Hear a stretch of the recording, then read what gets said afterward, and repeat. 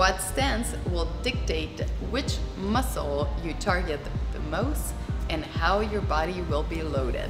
If you want to target your hamstring and glutes, go wider with your feet. If you want to target your quads, bring your feet narrower. Lastly, too wide is when your knees are no longer tracking your toes. So don't do that. Now, where should the weight be distributed in your feet? That also depends on what you want to target. So playing with it will help you develop what you're looking for faster. The more you elevate your heels, the more quad dominant your squat is going to be.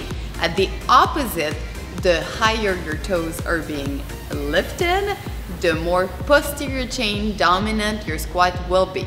Posterior chain is going to be your hamstring, glute, and erector. Lastly, don't be silly. Make sure you are well balanced when you do these. So the angle of the torso is also going to dictate if you're targeting more your quad or your hamstring and glute.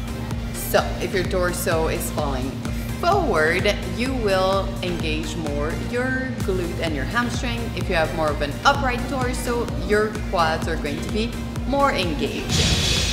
I hope this gives you a little bit more of an insight of why you should put your feet in which position and the angle of your torso and why we would want feet elevated in a certain way.